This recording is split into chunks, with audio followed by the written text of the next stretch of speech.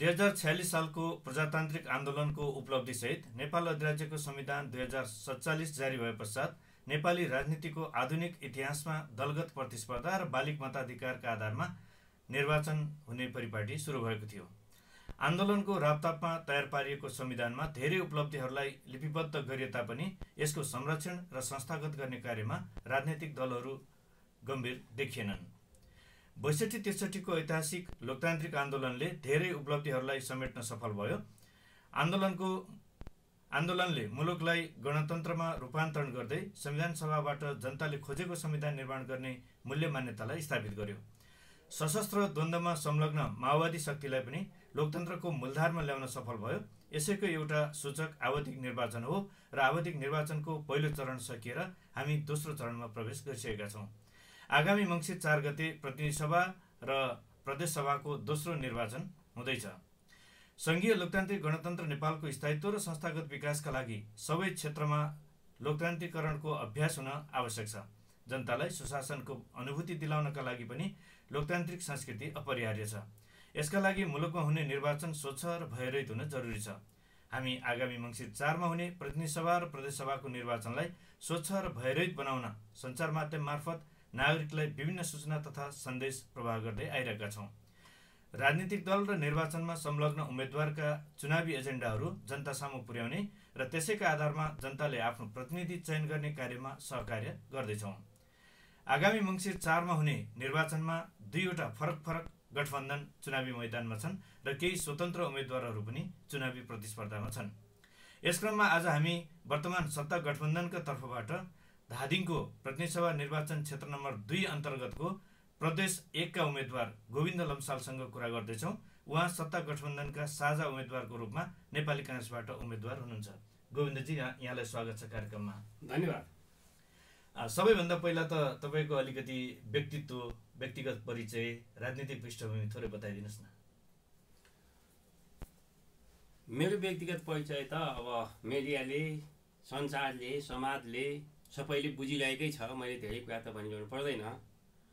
म दुई हजार पैँतिस सालको चैत्र बिस गते नेपाल विद्यार्थी सङ्घको सदस्य भएको। त्यसदेखि लगातार आजसम्म पार्टीमा सक्रिय रूपमा काम गरिरहेको छु। मैले सैँतिस सालमा नेपाल विद्यार्थी सङ्घको अध्यक्ष भएँ। बयालिस सालको सत्याग्रहमा म जेल बसेँ।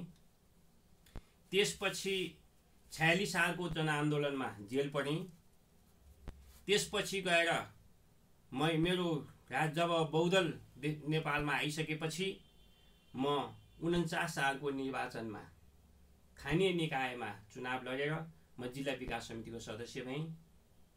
चौन्न सालमा पनि म चुनाव लडेँ। मैले मेरो गाउँपालिकाको उपाध्यक्षबाट मेरो इच्छा थियो जिल्ला विकास समितिको सभापति बन्ने। तर त्यो बेलामा मेरो पार्टी कमजोर भयो र म सभापति बन्न सकिनँ। र त्यसपछि चौन्नमै म नेपाल तरुण दलको धादिङ जिल्लाको संस्थापक अध्यक्ष भएँ र लगातार आजसम्म म पार्टीका विभिन्न तहमा काम गरेर महाधिवेशन प्रतिनिधि महासमिति सदस्य जिल्ला कार्य समितिको सचिवसम्म भएर पार्टीमा काम गरिरहेँ। र त्यही रफ्तारमा म आजसम्म छु। कोही बेला मैले पार्ट अन्तर पार्टीभित्र कोही बेला राम्रो पोस्टमा पुगेर जितेको छु चुनाव लडेको छु जितेको पनि छु र कोही बेला कारणवशले मैले पार्टीभित्रका केही पोस्टहरू हारेको पनि छु। तर पनि म पार्टीमा एकछत्त निरन्तर लागिरहेको छु। सुरुमा त यहाँ शिक्षक हुनुहुन्थ्यो होइन? पहिला बयालिस सालमा मैले जब बिएससी पढ्नलाई अलि गाह्रो भयो आइएससी पास गरेर आएँ र बिएससी पढ्न जानको लागि तत्काल भर्ना गर्न पनि अलि सकिएन। र त्यो समयमा त्यो बिएससी पढ्ने अवधि कसरी मिलाउने भन्नको लागि शिक्षक पनि भएँ। तर शिक्षक पेसा मेरो लागि त्यति रमाइलो रूपले मैले बिताउन सकिनँ। आफ्नो अनुकूल भएन जस्तो लाग्यो। आफ्नो अनुकूल भएन जस्तो लाग्यो। एउटा रमाइलो घटना तपाईँलाई बताउँ। म शिक्षकमा म्याथमेटिक्स पढाउँथेँ। जिटिजेटले मलाई तालिम दिन बोलायो। तालिम दिइरहँदा कस्तो अवस्था भयो भनेदेखि म अलिक प्रखर वक्ता जस्तो त्यहाँ देखिएँ। त्यसो भएपछि आयोजकले मलाई त्यहाँ बोल्न लगायो। तालिमको उपलब्धिहरू के के भए भनेर मलाई बोल्न लगायो। बोल्दै गर्दा मैले अन्त्यमा नेपाली काङ्ग्रेसको पृष्ठभूमिबाट हुर्केको मान्छे म।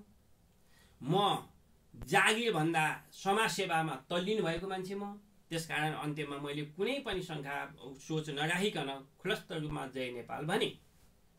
जब मैले जय नेपाल भनेको थिएँ त्यहाँ भएको सिडिओ त्यहाँ भएको त्यो बेला डिएसपी थियो त्यो बेला एसपी थिएन दार्जिलिङमा। त्यति बेलाका प्रशासक त्यति बेलाका त्यति बेलाका सबै प्रशासकहरूले चाहिँ मलाई आँखा तरे तुरन्त शिक्षा अधिकारीलाई त्यहीँ अगाडि मञ्चमा बोलाए। र अब के के भने त्यो चाहिँ मैले सुन्न पाइनँ। म के भने भनेपछि पञ्चायत विरोधी हो यो मान्छे भन्ने शङ्का गरे। शङ्का गरेँ र त्यो जिसिओ अलिक पर थियो। जिसिओलाई सिडिओले ठ्याक्कै बोलायो। के के भन्यो त्यो म चाहिँ अब यतामा थिएँ उनीहरू मञ्चमा थिएँ। के के भने मलाई थाहा भएन। तर तुरन्त भोलिपल्ट नै मेरो अवकाश दिइयो। त्यसपछि मैले शिक्षामा कसरत गरिनँ।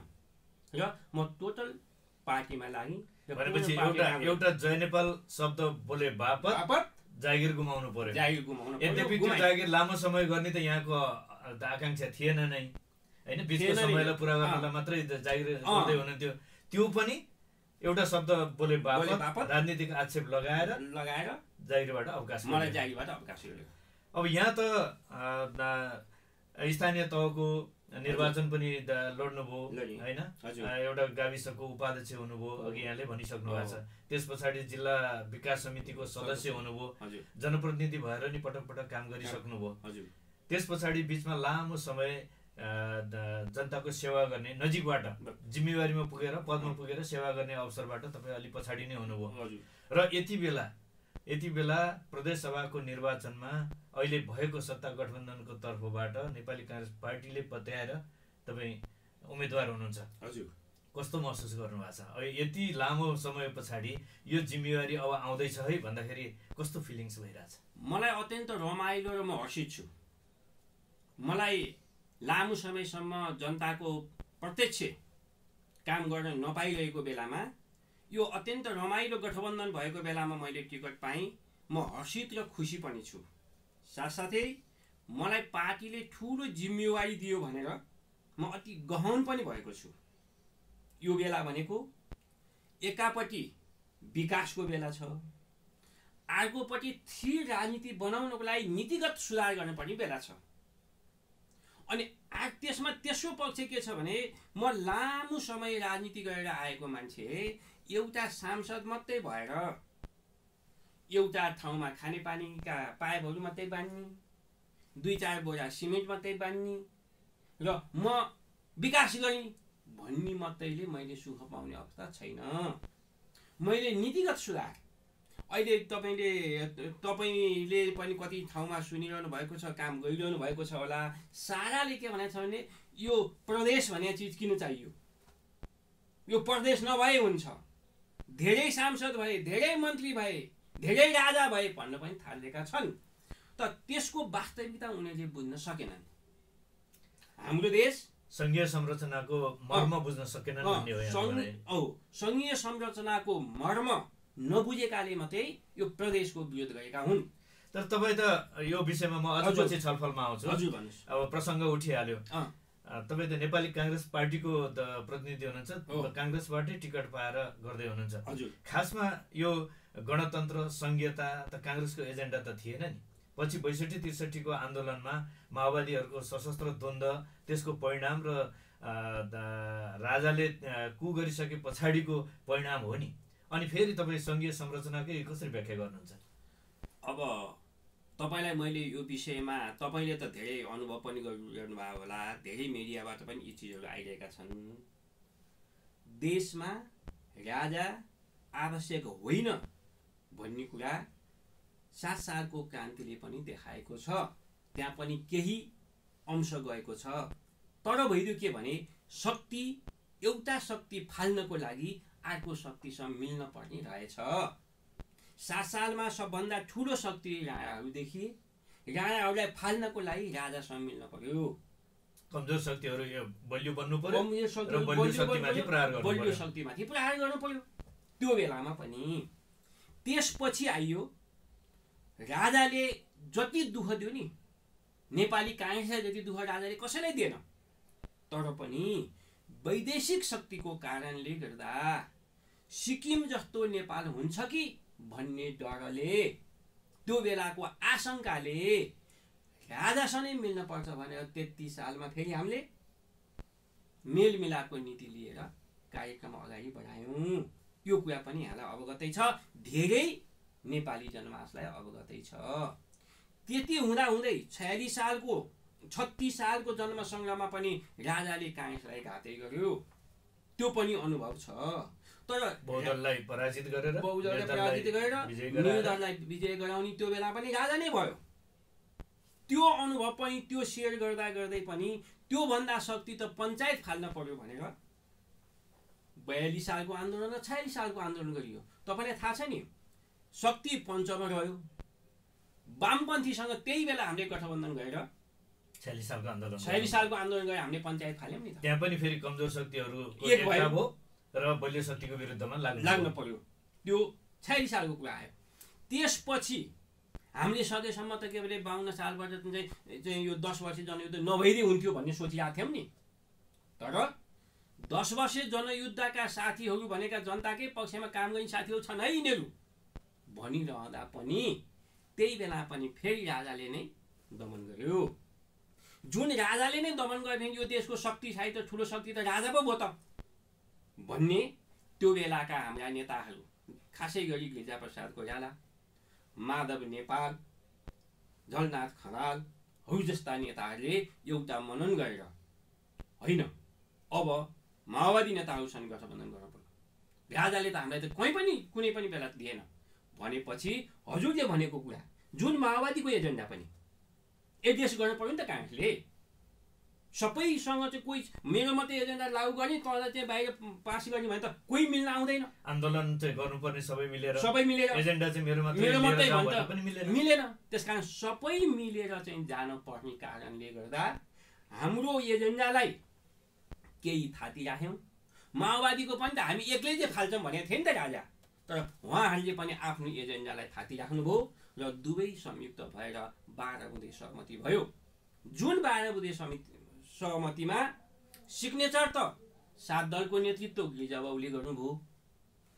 माओवादीको नेतृत्व प्रचण्डजीले गर्नुभयो। तर सात दलको शक्ति दिनको लागि त माधव नेपालै जी हुनुहुन्थ्यो नि त। झलनाथ खनालैको नेतृत्व थियो नि त त्यो बेलामा। उहाँहरूको शक्तिले गिरिजा प्रसादले गिरिजा हस्ताक्षर गर्नुभयो। यदि त्यो बेला माधव नेपाली नै भन्नुभएको त हस्ताक्षर हुँदैन थियो त्यस पछाडि नेपाली काङ्ग्रेस गणतन्त्रवादी पनि भयो। संहितावादी पनि भयो। संहिताको पक्षधर पनि भयो। र त्यही बाटोमा अहिले त्यही। बाटोमा अहिले हामी हिँडिरहेको छौँ र लगातार सात सालदेखि सदा सर्वदा राजाले दुःख दिए हुँदा यसलाई फाल्नै उप- उपयुक्त हुन्छ भनेर त्यो स्वीकार गरेर हामी हौँ म यहाँसँग यो संहिताको विषयमा खास गरी प्रदेश संरचनाको आवश्यकता अथवा यसलाई संस्थागत विकास गर्ने एजेन्डाका विषयमा एकछिनमा कुरा गरौँला। यहाँले पनि अघि आफ्नो पृष्ठभूमिमा बताउनु भयो बिचमा लामो समय जनप्रतिनिधि भएर जनताको सेवा गर्ने अवसर प्राप्त भएन। तर यति बेला प्राप्त हुन आयो। बिचमा लामो समयको अन्तरालपछि प्राप्त भयो तैपनि यहाँ आफ्नो पार्टीमा पार्टीको राजनीतिमा क्रियाशील रहेको कुरा त यहाँले बताउनु नै भयो। अहिले या- निर्वाचनमा उम्मेदवारीका विषयमा तपाईँका पार्टीभित्र पनि धेरै आकाङ्क्षीहरू थिए। जो जो अहिले अहिले निरन्तर यही क्षेत्रमा जनप्रतिनिधि भएर काम गरिरहेका साथीहरूको पनि उहाँहरू पनि प्रतिस्पर्धी जस्तै हुनुहुन्थ्यो आकाङ्क्षी हुनुहुन्थ्यो। तर टिकट यहाँले प्राप्त गर्नुभयो। यहाँलाई चिट्ठा पऱ्यो भन्छ नि बजारमा? मैले मेरो पृष्ठभूमि बताएँ। हजुरले थाहा पाउनुभयो। राजनीति भनेको ख्याल ख्याल खेल होइन रहेछ। कोही बजारमा कुद्नेवाला कति दिनबाट आए? म मसँग रहेका जति साथीहरूले प्रतिस्पर्धा गर्नुभयो उहाँहरूले पार्टीमा लगनशीलता गर्नुभएको छ। त्यो पार्टीको सक्रियता छ। म पनि त्यही सक्रियतामा कुदिरहेको छु। कोही कोहीले किन पाएनन् कोहीले किन पाए भन्ने कुरामा मैले द्वादश गर्ने कुरा आएन। डिसिजन त केन्द्रीय नेताहरूको हो। पार्टीले गर्यो पार्टीले गर्यो। पार्टीले मेरो निरन्तरतालाई सम्मान गर्यो। मैले टिकट पाएँ। चिट्टै पर्ने भए त्यहाँ त पहिला अरूको पनि पर्थ्यो होला। अरू साथीलाई नै आउँथ्यो होला। त्यो होइन। पार्टीले प्रत्यक्ष रूपमा तपाईँहरूले पनि अनुभव गर्नुभएको छ। धेरै साथीहरूले भनिरहेका छन्। काङ्ग्रेसले कस्ता कस्ता मान्छे ल्याउँछ कस्ता कस्ता। थाहा छैन के? भनिरहेका छन्। तर त्यो होइन। काङ्ग्रेसले सत्य मान्छे ल्याउँछ। सही मान्छे ल्याउँछ मिहिनेती मान्छे ल्याउँछ र निरन्तर मान्छे लिएर आउँछ। त्यसमा म पढे हुँ। यसमा फेरि यसको अर्थ अरू साथीहरू निरन्तर छैन भन्नु खोजे? होइन। सबै साथीहरू निरन्तर छन्। सबैले सक्रिय काम गरिरहेका छन्। त्यसमा त्यो दौडमा हुन्छ नि। हामीले चाहिँ सत्रजनालाई दौडाउँदै लयौँ। त्यो ट्याक्क लाएर सबैले पास दिँदै गए। टुङ्गोमा। पुग्ने बेलामा तपाईँ पुग्नुभयो। टुङ्गोमा रिबन मैले छोएँ भने पनि भयो। यतापट्टि खेलाडीले सबैले पास गरे गोल हान्ने बेला फ्याट्ट मैले गोल हाने। फरक यति हो। कुनै साथी कमजोर साथी छैनन्। तर यसलाई यसरी पनि भन्न सकिएला। यहाँको त बिचमा लामो समय ग्याप भयो। अब यतिको निरन्तर सक्रिय व्यक्तिलाई। चाहिँ यो पटक अवसर दिउँ। अरूको लागि त फेरि फेरि पनि अवसर छ भन्ने पनि बुझाइ भयो होला। त्यो पनि अब केन्द्रले बुझ्यो होला। त्यो कसरी बुझिरह्यो केन्द्रको चाहिँ उतापट्टिको कुरा हो त्यो चाहिँ मैले भन्ने कुरा आएन। तर सबै साथीहरूको सक्रियता यथावत रूपमा चाहिँ अघि बढिरहेको छ। त्यसमा रिबन छोइ त्यो दौडिने मान्छेहरूले त रिबन जसले छोयो त्यो फर्क हुन्छ नि त्यही रिबन मैले छोएँ यति भए हो उहाँहरू चाहिँ फेरि खेलाडी होइन भने होइन उहाँहरू नि रनिङमा हुनुहुन्थ्यो उहाँहरू पनि खेलाडी हो सबैले पास दिनुभयो गोल मैले हाने फरक यति हो अब निर्वाचन उम्मेदवारीकै विषयमा केन्द्रित गरेर। एकछिन कुरा गरौँ अहिले औपचारिक रूपमा चुनाव प्रचार प्रसार त सत्र गतेदेखि। भोलिदेखि मात्रै निर्वाचन आयोगले सत्र गतेदेखि भनेर निर्देशन जारी गरिसकेका छ हजुर। सत्र गतेदेखि यहाँहरू चुनाव प्रचार प्रसारमा त जाँदै हुनुहुन्छ। एजेन्डाहरू लिएर भोट माग्दै हुनुहुन्छ। प्रचार प्रसारका जे जे तौर तरिकाहरू छ त्यो त प्रयोग गर्दै गर्नु होला तर यति बेला चाहिँ यहाँले तेइस गते उम्मेदवारी दर्ता गर्नुभयो छब्बिस गते निर्वाचन चिन्ह प्राप्त गर्नुभयो यो बिचमा जनताको बिचमा जानुभयो कुराकानी राख्दै हुनुहुन्छ के गर्दै हुनुहुन्छ? म अहिले धेरै जसो अहिले के भएको छ भने यो गठबन्धनको कारणले गर्दा सबै टिमका साथीहरूसँग समाजवादीका साथीहरूसँग माओवादीका साथीहरूसँग अनि तपाईँलाई नै थाहा छ आफ्नै पार्टीभित्रका अन्तर साथीहरूसँग र अनि नेपाल समाजवादी पार्टीसँग हामी कहाँ यहाँ अर्को पार्टी त छैन केही जनमोर्चाका साथीहरूसँग विभिन्न किसिमको कोर मिटिङहरू हामीले गरिरहेका छौँ। त्यो मिटिङ सकिसकेपछि अनि त्यही दिन पनि विभिन्न टोल टोलमा टोल समितिहरू गठन गर्दै त्यो टोलका साथीहरूसँग इन्डोर छलफल हामीले गरिरहेका छौँ इन्डोर मिटिङ बसिरहेका छौँ र केही केही ठाउँमा हामी यसो घर दैलोमा सामान्य किसिमले केही साथीहरू ए साथीहरू है म उम्मेदवार भएँ है। जय नेपाल परिचय गर्ने हिसाबले। परिचय गर्ने हिसाबले म उम्मेदवार हुँ है भनी परिचय गर्ने हिसाबले गरिरहेको छु र अनि कोठामा मैले टाइम चाहिँ अलिकता के भने म्यानेज गर्न सकिरहेको छैन क्या। यो कस्तो हुँदो रहेछ भने बिहान चार बजे म उठ्छु। चार बजे फोन गर्यो कुनै साथी पनि उठ्या हुँदैन। उतापट्टि। बेलुका आठ बजेबाट दस बजीसम्म मैले टाइम दिइरहेको छु। त्योभन्दा पहिला मैले फोन गर्ने टाइम पाउँदिनँ। त्यो आठ बजेबाट दस बजीसम्म चाहिँ मैले जब उता फोन गर्न थाल्छु नि कोही साथीहरू कता भइरहेको हुन्छन् कोही साथी कता भइरहेको हुन्छन् उनीहरूको पनि आफ्नो व्यवहारिकता हुन्छ। त्यो पनि फोनमा चाहिँ फोन गरिरहेको छु। धेरै साथीहरूलाई फोनबाट कन्ट्याक्ट गरिरहेको छु। तर त्यो सबैलाई मेसो लाउँदाखेरिमा सबैको फोन उठिरहेको छैन मिलिरहन चाहिँ अलिक अप्ठ्यारो अप्ठ्यारो परिस्थिति छ। जब सात बजेबाट पछि चाहिँ मेरै मैले फोन उठाउन भ्या छैन। उताबाट फोन आउँछ उताबाट फोन आउँछ उताबाट फोन आउँछ त्यो भ्या छैन र अहिलेको यो अवस्था चाहिँ फोनको सञ्चार भेटघाट र इन्डोर मिटिङ। अब यसरी अब यसरी भेटघाट गरेर हिँड्दाखेरि पनि जनताका त धेरै अपेक्षाहरू होलान् होइन? सबभन्दा पहिला त अहिले राजनीतिप्रति नागरिकहरूको वितृष्णा जस्तै देखिन्छ किनभने मुलुकले स्थायी सरकार प्राप्त गर्न सकेन। संविधान निर्माण पश्चात पनि मुलुकले स्थिरता प्राप्त गर्न सकेन। हजुर। एउटा एक कालखण्डमा पाँच वर्ष अगाडि मुलुकका दुईवटा ठुला कम्युनिस्ट पार्टीहरूले एकता गरे। र झन्डै दुई तिहाईको बहुमत प्राप्त गरे। तर त्यो बहुमत पनि निश्चित समयसम्म रहन सकेन र मुलुक अस्थिरको अस्थिरै रहन गयो। यो बिचमा निर्वाचन पनि हुँदैछ। यहाँहरू जनताको घर दैलोमा पनि जाँदै हुनुहुन्छ। एकातिर भने अर्कोतिर सत्ताधारी दलहरूको गठबन्धन बनाएर जाँदै हुनुहुन्छ र तपाईँ गठबन्धनको साझा उम्मेदवार पनि हुनुहुन्छ। भनेपछि जनताको बिचमा जाँदाखेरि यहाँहरूले के कुरालाई लिएर जानुभएको छ? कस्ता एजेन्डाहरू जनताको बिचमा लैजाँदै हुनुहुन्छ? सबैभन्दा पहिलो एजेन्डा थिर सरकार। स्थायित्व राजनीति।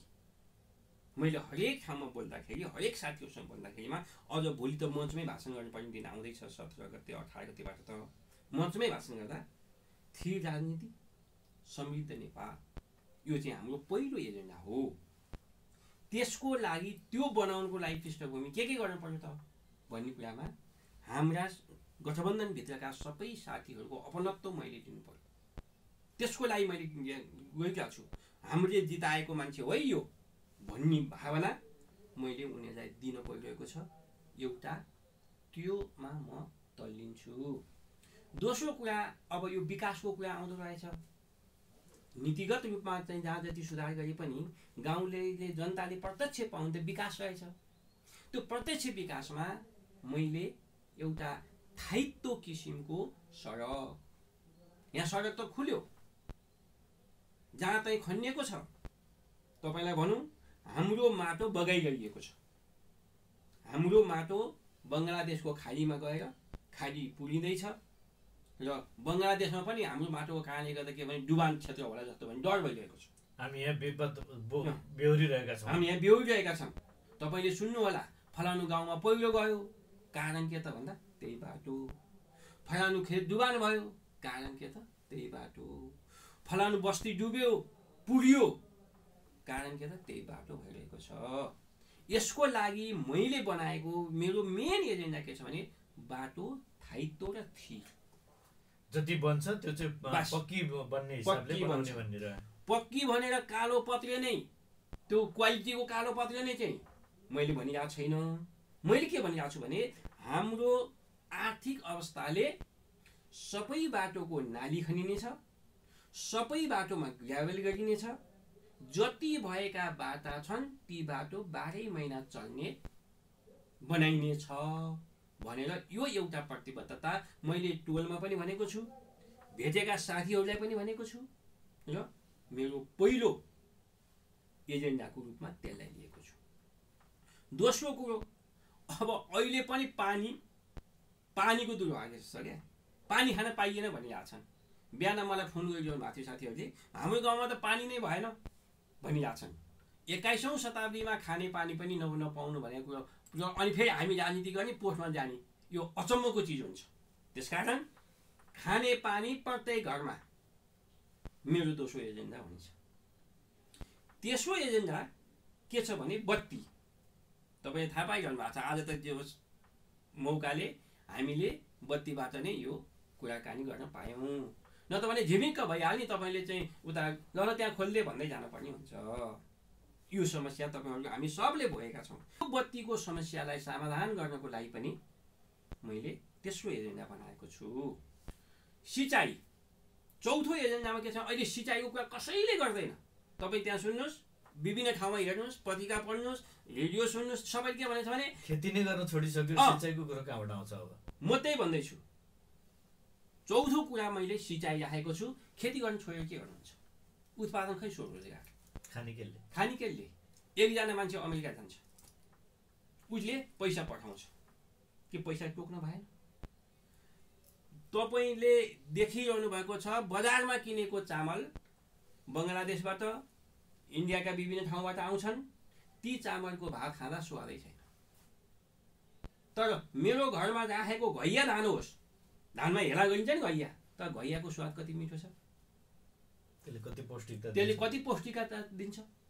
यद्यपि सिँचाइ भइदियो भने म त फेरि कस्तो भने रमाइलो ठाउँमा छु। धादिङ बेसी ठुलो बजार छ। आज धादिङ बेसीको तरकारी तपाईँले तरकारी किन्नुभयो सायद इन्डियाबाट आयो होला।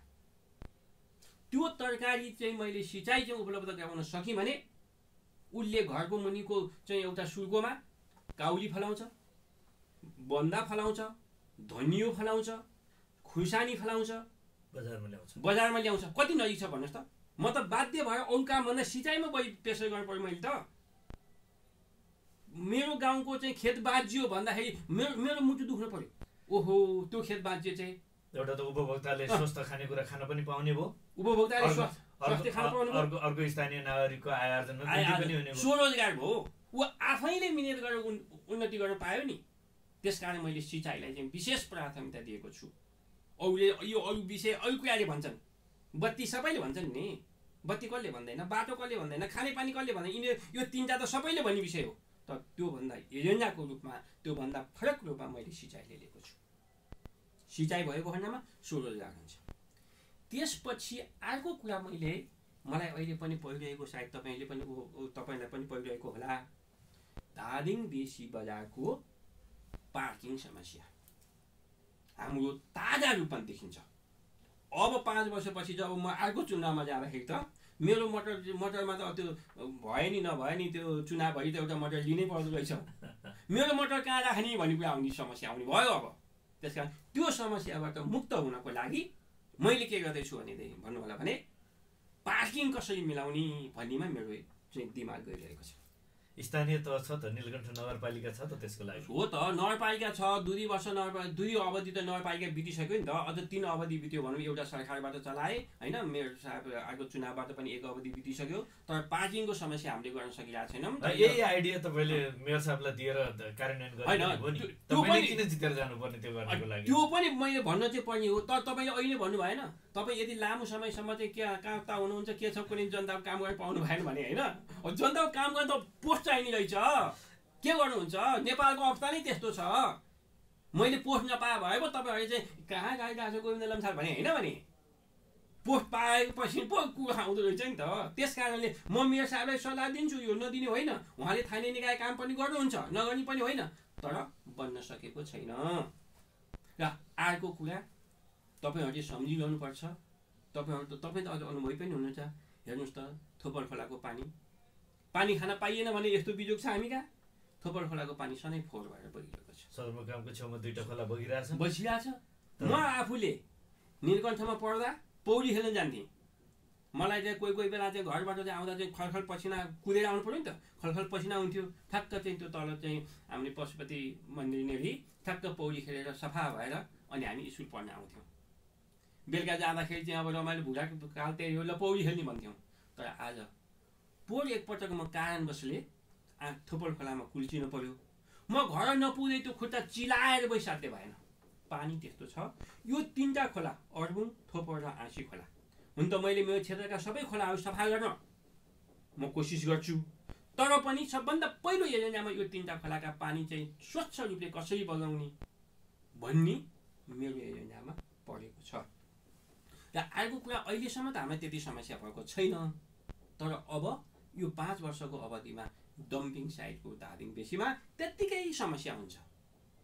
यहाँ त अहिले के भने यो डम्पिङ के हो फोहोर के हो कसरी व्यवस्थापन गर्ने भन्ने कुरा नभएको कारणले हामीलाई सिद्धा लेखले केही पनि भनेको छैन। हामीले ल छेउमा फालिदिएका छौँ नगरपालिकाले।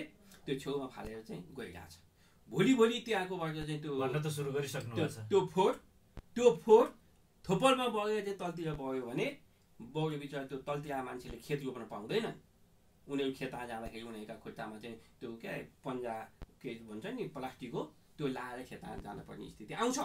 त्यस कारणले यो डम्पिङ व्यवस्थापन गर्ने पनि अर्को एजेन्डा मैले राख्नुपर्ने हुन्छ र त्यसलाई पनि मैले कल्पना गरिरहेको छु।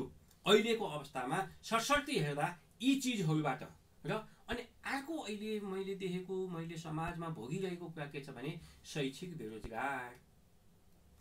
छोरो कहाँ गयो? पढ्यो एमए पास गर्यो मास्टर डिग्री लिएर आयो। तर हल्लिरहेको छ। घरमा बसेर घाँस काट्न जाँदैन। हेर्नुहोस् जारी खान जारी पाएको छैन। विदेश जान एमए पास गरेर आएर त्यो बाउले बाउले घाँस काटेर के अरे कोदालो खनेर उत उत्पाएको सम्पत्तिले चाहिँ एमए पास गरायो मास्टर डिग्री चाहिँ बनायो। तर त्यो डिग्रीको सर्टिफिकेट बोकेर चाहिँ ऊ हिँडिरहेको छ। आज नि कहाँ भने फलान ठाउँमा दरखास्त गरेको छ भनेको छ बाप पैसा ल्याउनु न त्यहाँ निवेदन गर्नु पऱ्यो भन्छ अर्को ठाउँमा पनि त्यही भनेको छ। अनि केही लाएन भने ल बा फलानु खेत चाहिँ बेच्न पऱ्यो नभए ब्याङ्कमा राख्न पऱ्यो म त विदेश जानु पऱ्यो अहिले नेपाली युवाहरूको सबभन्दा ठुलो समस्या त्यो यहाँ मेरो प्रदेशमा मात्रै होइन देशैभरिको त्यो समस्या छ। यो समस्यालाई सदनमा राखेर कसरी समाधान गर्ने भन्ने कुरामा मेरो मनस्थिति गएको छ। मभन्दा बौद्धिक अरू मान्छे पनि होलान्। कसरी गर्ने त त्यसलाई? उद्योग विकास गर्ने हो कि? त्यसमा मेरो खाका। मैले अहिले कल्पना गरेको खाका चाहिँ होला यति पत्तै नपुग्ला तर मेरो कल्पना चाहिँ स्वरोजगार कुन विषयमा उसले त्यो डिग्री हासिल गरेर आएको छ? त्यो विषयको काम पहिला आफ्नै गाउँमा गएर उसले गर्नुपर्छ। मानुहोस् एकजना कृषि डक्टर भयो। कृषि डक्टर भएर आइसकेपछि उसले चाहिँ के गर्नु पर्यो भने त्यो आफै गएर आफ्नै खेतमा चाहिँ राम्रा राम्रा किसिमको उत्पादन गर्नु पर्यो अरूलाई देखाउन पनि अरूलाई देखाउन पर्यो र आफूले पनि उत्पादन आफूले पनि आम्दानी उत्पादन गर्न पर्यो आम्दानी लिनु पर्यो मान्नुहोस् एउटा कुखुराको चाहिँ विषयमा उसले चाहिँ के अरे यो डिप्लोमा पास गर्यो। सब्जेक्टले उसले कुखुरा भने उसले त्यो डक्टर भएर त्यहाँ गएर चाहिँ मैले चाहिँ त्यो कुखुरालाई सुई लगाइदिनु यसो यसो गर्नुपर्छ भनेर चिट मात्रै लेख्ने होइन।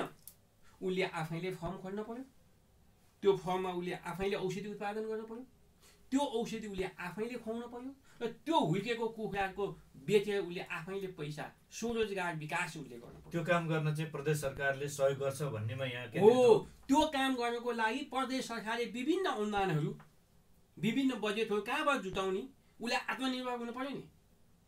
अहिले अहिले तपाईँले देखिरहनु भएको छ त्यो त्यस्तो कामको बजेट पनि अनि हाम्रो एउटा व्यक्तिले त्यो गर्यो भने ऊ मात्रै स्वरोजगार बन्दैन। बन्दैन। उसको- उसकोमा अरू रोजगारी पनि सिर्जना हुन्छ। औ रोजगारी हुन्छ अनि उसले अनुसार औरी सिक्ला हुन्छ नि। मान्नुहोस् एउ एउटा व्यक्ति धान विशेषज्ञ बनेर आयो।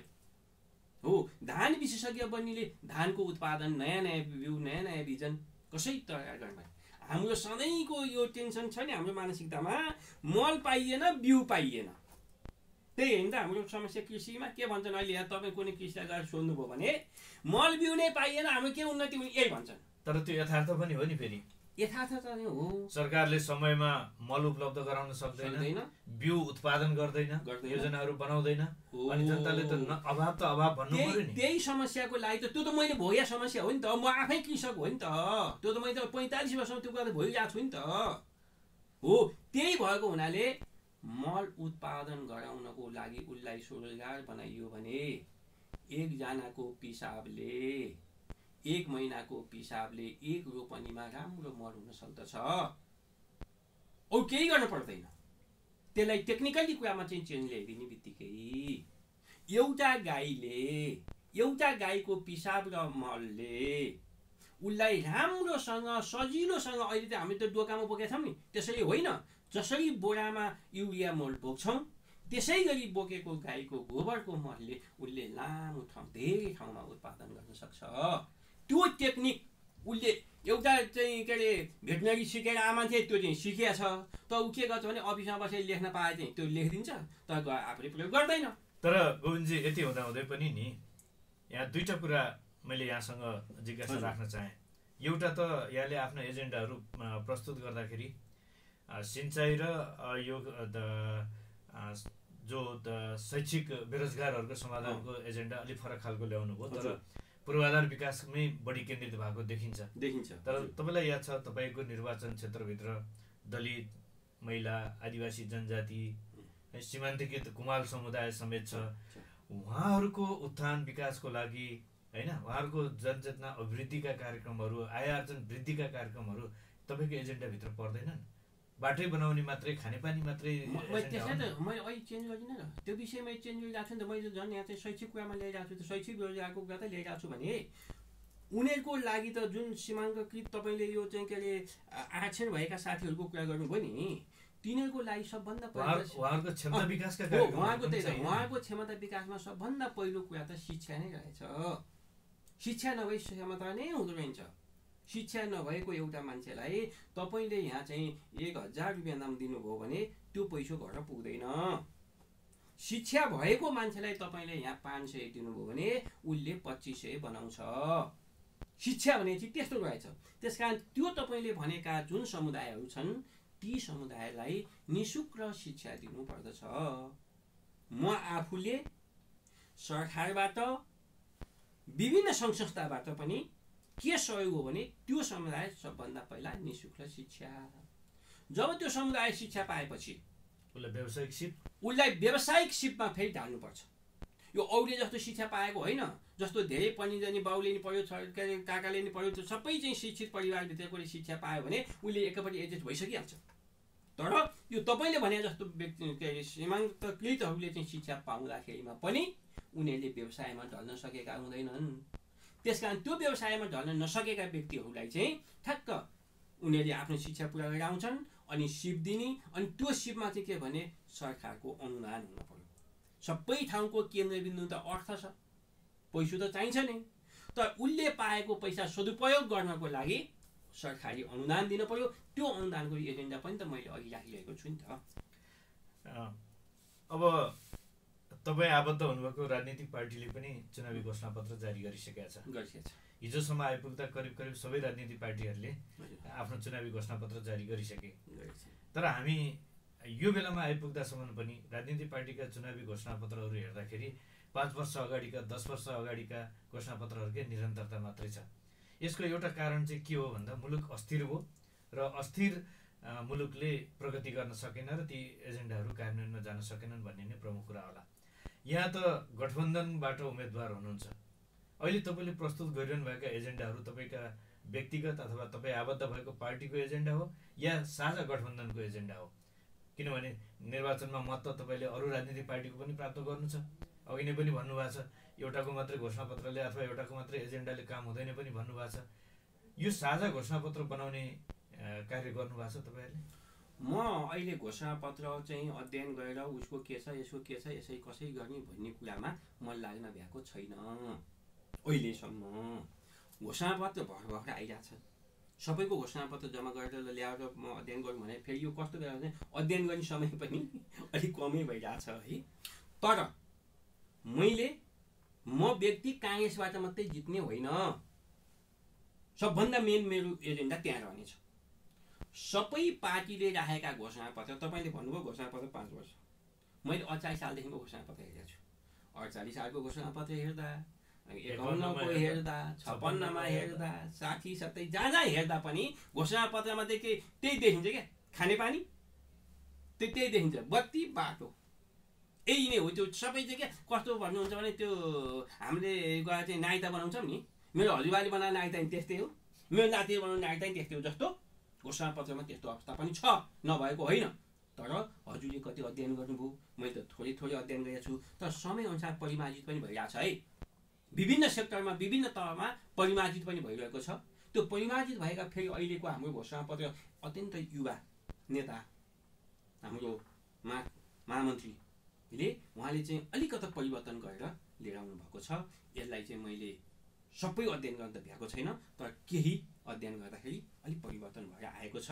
र यी घोषणापत्रहरूलाई मैले आफ्नो काङ्ग्रेसको मात्रै हो भनेर मैले हिँड्न पाउँदिनँ। त्यसो भन्यो भने म फेरि भोलिबाट चुनाव त जिताउँछन् साथीहरूले जितिसकेपछि फेरि म एक्लो हुन्छु। तर यो चाहिँ यथार्थमा अहिले निर्वाचन अगाडि मात्रै भन्ने छ प्लिज होइन? त्यो हुँदै होइन। तपाईँले मलाई त अनुभव गर्नु भएको छ नि त। मैले भनेको छु नि त म पैँतिस सालदेखि राजनीतिमा लागेँ मान्छे। एक दिन कोहीसँग बाजे गोविन्द लम्सार भने तपाईँ सुन्नु भएको छ? एउटा साथी कुनै मैले मञ्चमा भाषण गर्छु। एउटा कुनै पार्टीलाई मैले गाली गरेको छु। दस वर्ष जनयुद्ध म सधैँ धार्मिक बेसी पाल्पा गरेका मान्छे होइन। कोसँग मेरो त्यो बित्गो छ? माओवादी साथीहरूसँग म सधैँ हिँडिरहेको छु। म आफूले माओवादी साथीहरूको लास उचालेको छु। माओवादी त आर्मीबाट मऱ्यो नि त। तिनको लास उचालेको छु। माओवादीले मारेका मान्छेहरू मेरा मेरा साथीहरूले मारेका छन्। तिनको नि लास उचालेको छु। मैले हिजो चाहिँ नौ नम्बरमा गएर भने मेरो आफ्नो ओडामा मैले टिकट पाएको भनेको मेरो ओडामा ती तिनजना शहीद भए। यो कुरो मैले किन राखिराखेको त्यसको लक्ष्य म म भन्दैछु पाउनु। त्यसको लक्ष्यले गर्दाखेरि मैले टिकट पाएको हुँ। त्यस कारण यो सबै पार्टीका साथीहरूको सबै पार्टीले चाहिँ ल्याउनु भएको एजेन्डा मेरो साझा एजेन्डा हुनेछ। तिनै एजेन्डाको साथमा म सधैँ काम गर्नेछु त्यो हिजो पनि मैले उनीहरूसँग मिलेर काम गरेँ भोलि पनि उनीहरूसँग मिलेर काम गर्छु। मेरो पार्टीले नै मलाई चाहिँ यिनीहरू सबैसँग मिलेर बस है त। नत्र मलाई हिजै चाहिँ अहिलेसम्म किन पर्खाउनु अहिले पैसा किन पर्खिनु पर्ने? त मिलनसार मान्छे होस् मिलेर काम गर है भनेर मलाई अहिले पर्खाएर के गरिदिएको? तर हामीले विगतलाई हेर्दाखेरि अरू राजनीतिक पार्टीहरूको कार्यशैलीलाई हेर्दाखेरि चाहिँ यो शङ्का गर्ने ठाउँहरू त छन् नि। चौहत्तर साल यहाँलाई याद दिलाउँ चौहत्तर सालको निर्वाचनमा मुलुकको दुईवटा ठुला कम्युनिस्ट पार्टीहरू नेकपा एमाले र माओवादी केन्द्र। उहाँहरू चुनावमा कार्यकर्ता एकता गरेर चुनाव लड्नुभयो पा- पछि पार्टी एकीकरण गर्नुभयो तर झन्डै दुई साढे दुई वर्ष पछाडि त्यो चाहिँ उहाँहरू त्यसलाई स्थायी बनाउन सक्नु भएन र फरक फरक हिसाबले ध्रुवीकरण हुनुभयो। यद्यपि दुईवटा पार्टी मिलेर एउटा भएको थियो। विभाजन हुँदाखेरि तिनवटा पार्टीको रूपमा विभाजन पनि भयो। भनेपछि यो कसैले सत्तामा जानको लागि अथवा आफूलाई त्यो ठाउँमा पुर्याउनको लागि भर्याङ चाहिँ बनाउने एकता भनेर गठबन्धन भनेर तर आफू पुगिसके पछाडि चाहिँ त्यसलाई व्यवस्था गर्ने र आफू आ- आत्मकेन्द्रित मात्र निर्णयहरू गर्ने। भोलि त्यो परिस्थिति तपाईँहरूको बिचमा पनि सिर्जना हुन्छ कि? हामीले विगतलाई हेरेको कारणले त्यो आउँछ कि भन्ने मात्रै शङ्का। त्यो बाहिरका मान्छेले के गर्छन् भनेर मैले अध्ययन गरिरहेको छैन। त्यो उनीहरूका कुरा हुन्। मेरो कुरा सुन्नुहोस् तपाईँ। म यहाँभन्दा पहिला पनि सबैसँग मिलेर आएको मान्छे अब पनि मिलेर जाने मान्छे भन्ने मेरो भावना यसै छँदैछ। त्यसमा यसको केन्द्रबिन्दु चाहिँ हजुरले बुझिदिनु पर्यो यसको मेन केन्द्रबिन्दु चाहिँ के हो भने बैसठी त्रिसठीको आन्दोलन हो। जग चाहिँ त्यो जग त्यो हो। यो गठबन्धनको जग भनेको बैसठी त्रिसठीको आन्दोलन हो। बैसठी त्रिसठीको आन्दोलनमा बाह्र बुँदे सहमति नै यसको जग हो। त्यो बाह्र बुँदे सहमतिमा सही गर्ने मेरो पार्टी नेपाली काङ्ग्रेसको तर्फबाट गिरिजाप्रसाद कोइराला। गिरिजाप्रसाद कोइरालालाई मद्दत र सहयोग गर्ने मान्छे भनेको माधव नेपाल। त्यसलाई चाहिँ गतिलो रूपले अगाडि बढाउनु पर्छ भन्ने कमरेड प्रचण्ड। उहाँहरू तिनैजना गिरिजाबाबु त अहिले बित्नुभयो तर उहाँको पार्टीको नेतृत्व त शेरबहादुर दाईले गरिरहनु भएको छ। हो शेरबहादुर दाई पनि त्यही बाह्र बजे सहमतिमा टेकेर काम गरिरहनु भएको छ। माधव नेपालजी पनि त्यही बाह्र बजे सहमतिमा टेकेर काम गरिरहनु भएको छ र प्रचण्डजी पनि त्यही सहमतिमा टेकेर काम गरिरहनु भएको छ। हिजो के थियो भने अलग भएको थियो। जग बाह्र बुधे सहमति तर त्यो सहमतिको तिनवटा खुट्टा मध्ये एउटा खुट्टा बाहिर थियो। तपाईँले अनुभव गरिरहनु भएको छ नेपाली काङ्ग्रेस बाहिर थियो। जुन बेलाको शक्तिशाली र ठुलो पार्टी राज्यको शक्तिशाली पार्टी बाहिर हुँदाखेरिमा दुईटा टेकाले मात्रै थाम्न सकेन। गठबन्धन दुईटा टेकाले थाम्न सकेन। माधवजी पनि आफ्नो शक्तिमा कमजोर हुनुभयो। उहाँले अर्कै मान्छेलाई सभापति बनाउनु भयो जसले बाह्र बजे सहमतिमा चाहिँ सहमत गरिरहेका थिएनन्। र उहाँ आफू हुँदाखेरिमा पनि दुईटा पार्टी मात्रै हुनुभयो। प्रचण्डजीले त्यसलाई धान्न सक्नु भएन। त्यसपछि प्रचण्डजी त अत्यन्त के भने बौद्धिक मान्छे। ओहो हामीले बाह्र बुधे सहमतिको जगमा तिनटै शक्ति चाहिन्थ्यो। दुईवटा शक्तिमा मात्रै भयो भने उहाँले त्यो बेला सचेत हुनुभयो अनि ट्याक्क छोडेर अनि माधवजीलाई ल्याउनु भयो नि त। हिजोको सहमतिमा सही गर्नु त माधवजी तपाईँ पनि हो नि त तपाईँको मद्दतले हो नि त गिरिजाबाबुले सही गर्नुमा। भन्ने कुरा भएपछि उहाँहरू तिनैजनाको अहिले बलियो ओदान बनेको छ। हिजोको ओदान एउटा खुट्टो थिएन जुन पनि बलियो खुट्टो थिएन। तर आजको ओदान तिनैवटा बलिया खुट्टाको ओदान छ। त्यस कारणले यो गठबन्धन टुट्नेवाला छैन।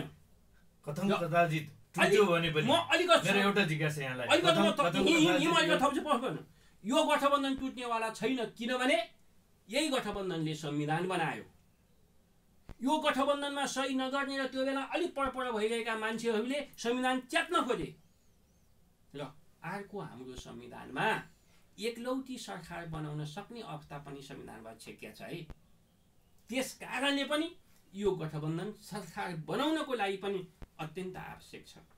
स्थायी राजनीति गर्नको लागि हाम्रो संविधानले दिएको अधिकारमा प्रयोग गर्नको लागि पनि यो गठबन्धन बलियो हुनुपर्ने छ भन्ने कुरा बुझिया हुनाले यो स्थायित्व हुन्छ। कथम कदाचित यदि यो एकता कायम रहेन भने पनि तपाईँ त अहिले साझा गठबन्धनको साझा उम्मेदवारको रूपमा उम्मेदवार हुनुहुन्छ। सायद निर्वाचन परिणाम त के आउला? जित्छु भनेरै तपाईँ लागिरहनु भएको छ। जित्छु निर्वाचित। हुनुभयो भने पनि। हजुर। यदि पार्टीगत एकतामा दरार आयो भने पनि तपाईँ यी सबै तपाईँलाई मतदान गर्ने सबै पक्षका मतदाताको साझा प्रतिनिधि भएर बसिराख्न सक्नुहुन्छ प्रतिबद्धता जनाउन सक्नुहुन्छ? म यो विषयमा तपाईँलाई प्रश्नसँग भन्छु। होला। म म सांसद भएँ। मेरो पार्टीले त यता आयो भने तँलाई मन्त्री दिन्छु। तैँले माओवादी र समाजवादीलाई चाहिँ तिरस्कार गरिस् भने म मन्त्री दिन्छु। अब त एमालेसँग मिल्यौँ हामी।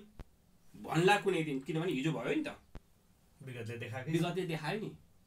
म मन्त्रीको लोभमा त्यसो गर्ने छैन। म काङ्ग्रेसको सांसद त भइ नै रहन्छु। तर मन्त्रीको लोभमा कुनै स्वार्थको लोभमा यहाँबाट जनताले दिएको चिजलाई मैले तिरस्कार गर- गर्नै सक्दिनँ। जनमतको कदर जनमतको। कदर मैले यो पाँच वर्ष म गरि नै रहनेछु। किनभने हिजो म यो सबै जनमतको कभर गरेको कारणले त म आज जुन चाहिँ सबैसँग सहमति गर्न सकेको छु। हो यसो भनिरहँदा यहाँले अहिले जुन अभिव्यक्ति यहाँ दिनुभएको छ यो चाहिँ पक्कै निर्वाचन जित्छु र जितिसके पछाडि यो गर्छु भन्ने प्रतिबद्धता हो। तर तपाईँको निर्वाचन जित्ने आधार चाहिँ के छ त? ए, के गर्नुमा यस्तो प्रश्न- योभन्दा सबभन्दा राम्रो आधार अरू कसको हुनसक्छ? मेरो भन्दा राम्रो आधार अरू कसको छ? ल भन्नुहोस् म बताइदिन्छु तपाईँलाई। मेरो चौबिसवटा वडा क्षेत्र। मेरो क्षेत्र होइन त? तपाईँ प्रदेशभित्र। मेरो प्रदेशभित्र चौबिसवटा वडा। चौबिसवटा वडामा प्रत्यक्ष खुला रूपले चाहिँ चुनाव लडेका चौधजना वडा अध्यक्षहरू छन् हो? तपाईँ प्रश्न बुझ्नुभएको छ? गठबन्धनका माओवादीका चारजना वडा अध्यक्ष छन्। अठारजना। अठारजना भए होइन? तिनजना जो स्वतन्त्र उम्मेदवार छन् ती पनि हिजो जीवन्त म सँगसँगै लडेका साथीहरू हुन्। मेरै पार्टीका साथीहरू हुन्। उहाँहरूलाई भोट हाल्ने धेरै साथीहरू मेरै पार्टीका साथीहरू छन्। त्यस कारणले उहाँहरूको साथ पनि अहिले तपाईँहरूसँगै छ। एक्काइसजना वडा अध्यक्षको साथ मलाई छ। नम्बर एक सबभन्दा बलियो आधार। नम्बर दुई छजना प्रमुख उपप्रमुख होइन त? एउटा नगरपालिका दुईवटा गाउँपालिका तिनवटा पालिकाका छजना प्रमुख उपप्रमुख। छैजना प्रमुख उपप्रमुखमा मेरै पार्टीबाट जितेका चारजना छन्। मेरो आफ्नै पार्टीबाट। नेपाली काङ्ग्रेसबाट। त्यसपछि दुईजना चाहिँ उप उपाध्यक्ष उपप्रमुख र के अरे उपा उपाध्यक्ष। हुनुहुन्छ। उहाँहरू दुईजना पनि गठबन्धनका मलाई नै समर्थन गर्ने हुनुहुन्छ। त्यति बेला पनि उहाँहरू गठबन्धनबाटै चुनाव गठबन्धनबाटै चुनाव जित्नु भएको? उहाँहरू छैजना मेरो समर्थक हुनुहुन्छ। त्यसकारण एक्काइसवटा ओडाका ओडा अध्यक्षको समर्थन छ के तिनैवटा गाउँपालिकाका अध्यक्ष र उपाध्यक्षको समर्थन र मेरो अहिलेसम्मको सबै क्षेत्रमा म यो अहिलेका मेरा चाहिँ जुन यो चौबिसवटा वडा छ नि यी चौबिसवटा वडामा अहिले होइन। म पञ्चायत कालमै पुगेको छु। मेरा पुराना साथीहरू त्यो गाउँ गाउँमै छन्। अहिले यहाँ भनिहाल्दा के अप्ठ्यारो पर्ला? कति साथीहरू एमालेका साथीहरूले पनि ए गोविन्द दाई तपाईँ चाहिँ उम्मेदवार हुनुभएछ है ल बधाई छ भनेर मलाई बधाई दिएका छन्। भने होइन एउटा कुरो मनोबल त उनीहरूले बढाइदियो नि त। एमालेका साथीले पनि मलाई समर्थन गरे बधाइदियो भने मनोबल त बढायो नि। त्यो हो नि त मनोबल। त्यहाँ माथि धेरै पुराना पुराना साथीहरू धेरै ठाउँमा मैले बेलामा नि पाएको बेलामा काम गरेको छु। तपाईँलाई याद होला। सैँतिस अडतिस सालको समी भन्ज्याङ स्कुल स्थापना गर्नको लागि जब हाई स्कुल सालबासमा गयो समी भन्ज्याङमा हाई स्कुल हुनुपर्छ भन्नको लागि आन्दोलन गर्दा त्यहाँका बुढा बाहरू स्पेसल नामै लिनु पर्दा मुक्तिनाथ अधिकारी मलाई जहाँ भेटे नि छोरो भन्नुहुन्छ। उहाँहरू जस्ता बाहरूको पनि मैले आशीर्वाद पाएको छु। त्यो बेला पनि मैले त्यो स्कुल बनाउनु पर्छ भनेर मैले आन्दोलन गरेको छु। गोविन्दजी अब हामी कार्यक्रमको अन्तिमतिर पनि आइपुगेका छौँ। अघि यहाँले पनि थोरै प्रसङ्ग उठाउनु भएको थियो। खास गरी यो प्रदेश संरचनालाई कतिपयले यो राज्यले थेक्न नसक्ने भारको त संरचना पनि भनेका छन् होइन? यहाँ त त्यही प्रदेशको उम्मेदवार बन्दै हुनुहुन्छ। प्रदेशले बनाउनु पर्ने थुप्रै नीति विधिहरू बन्न सकेका पनि छैन। हामी अलि बढी विकासका एजेन्डाहरूमा रुमल्यौँ ऐन नियम कानुन नीति बनाउने कुरामा पछाडि रह्यौँ जस्तो पनि देखिन्छ। अब यहाँ निर्वाचित भएर गइसके पछाडि यो प्रदेशको संरचनालाई बलियो बनाउनको लागि चाहिँ तपाईँले खेल्ने भूमिका के? म तपाईँलाई एउटा उदाहरण दिन्छु है। गाउँमा कसैको एउटा मात्रै छोरो भयो। तर कसैको बा तेह्र भाइ छोरा भए। भविष्यमा हेर्नुहोस् त्यो बा तेह्र भाइ छोरा भएको मान्छे धनी मानी र व्यवस्- व्यवस्थित हुन्छ। तपाईँले कति अनुभव गर्नुभएको छ? जो एक भाइ छोरो भएको चाहिँ यसले चाहिँ एकलौटी खान्छ भनेको छ नि त्यो पछि परेको छ। बिग्रेर पनि बिग्रिएर पनि गएको छ। देख्नुभयो होला तपाईँले अनुभव गर्नुभयो होला।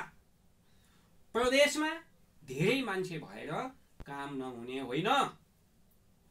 प्रदेशमा गएको खण्डमा हामी प्रदेशका चाहिँ उप के अरे उत्पादनहरू स्रोतहरू के के छन् भनेर खोज्न पाउँछौँ। मान्नुहोस् धादिङ जिल्लामा रुबी भ्यालीको रुबीको स्रोत खोज्न सकिन्छ। त्यहाँ अधिकार पाएपछि। धादिङ जिल्लाकै म धेरै ठाउँका कुरा हुनु त तेह्र जिल्ला हेर्नुपर्छ यो प्रदेशले। तर म धादिङका स्रोत मात्रै हजुरलाई बताउँछु। धादिङका स्रोतहरू नै मात्रै हेर्दाखेरिमा रातो माटो मात्रै बेच्यौँ भने धादिङलाई पुग्ने उत्पादन हुन्छ। रुबी भ्यालीको रुबीको स्रोत मात्रै बेच्न सक्यौँ भने धादिङलाई पुग्ने स्रोत हुन्छ। ती कुराहरू अलिक पढेर राखौँ। अलिक ठुला चिज भए तपाईँले अनुभव गर्नुभयो होला। काठमाडौँमा धादिङको सालको पात मात्रै लगाएर टपरी मात्रै बनाएर बेच्यौँ भने धादिङलाई पुग्ने त्यो सम्पत्ति आउँछ। जीविकोपार्जन चल्छ। जीविकोपार्जन चल्छ। स्वरोजगार बन्छ मान्छे। त्यसलाई सिस्टेमिक बनाउनु पर्यो? त्यसलाई सिस्टमेटिक बनाउनु पर्यो। सिस्टमेटिक नबनेर भन्नुहोस् त काठमाडौँमा नेपाली तरकारी कुहिएर गएको छ इन्डियन तरकारी बिक्री भइरहेको छ। त्यो त तपाईँ सबले देखाएको कुरा हो नि। किनभने यहाँ उत्पादनमा लागत बढी छ। बढी छ।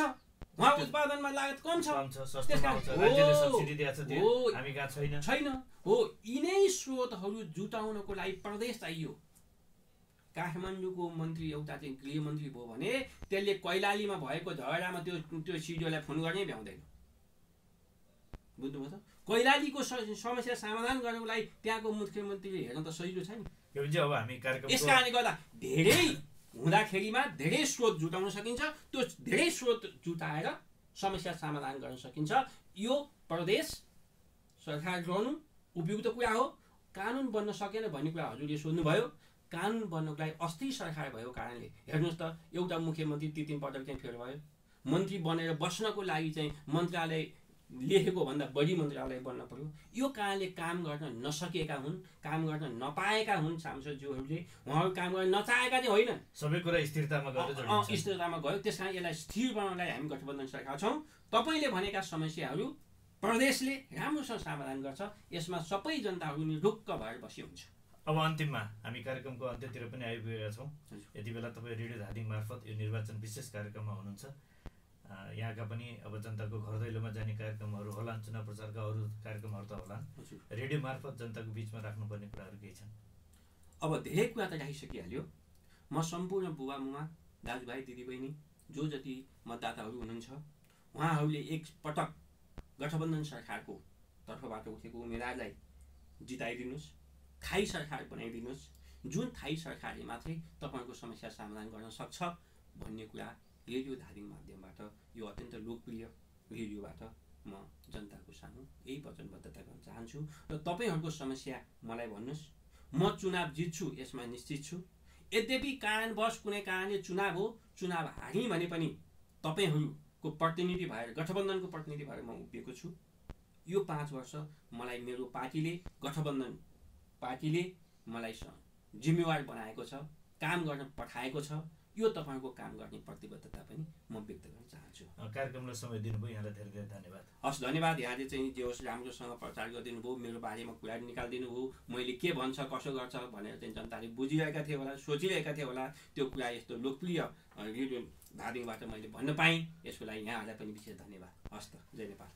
मित्र हामी कार्यक्रम निर्वाचन विशेषमा थियौँ र आज हामीले कुराकानी गऱ्यौँ। धादिङ प्रतिनिधि सभा निर्वाचन क्षेत्र नम्बर दुई प्रदेश एकका उम्मेद्वार सत्ता गठबन्धनका साझा उम्मेद्वार नेपाली काङ्ग्रेसका तर्फबाट उम्मेद्वार गोविन्द लम्सालसँग। उहाँले जनताको बिचमा जाने एजेन्डाहरू र खास गरी प्रदेश सरकारलाई बलियो बनाउनको लागि खेल्ने भूमिकाका विषयमा कुरा गर्नुभयो। हामी आगामी कार्यक्रममा अन्य उम्मेद्वारहरूसँगको यो कुराकानीलाई निरन्तर लैजाने नै छौँ आज भने हामी बिदा माग्ने बेला भएको छ। हामी सबैलाई बिदा दिनुहोस्। तपाईँको आजको दिन शुभ बितोस्। नमस्कार।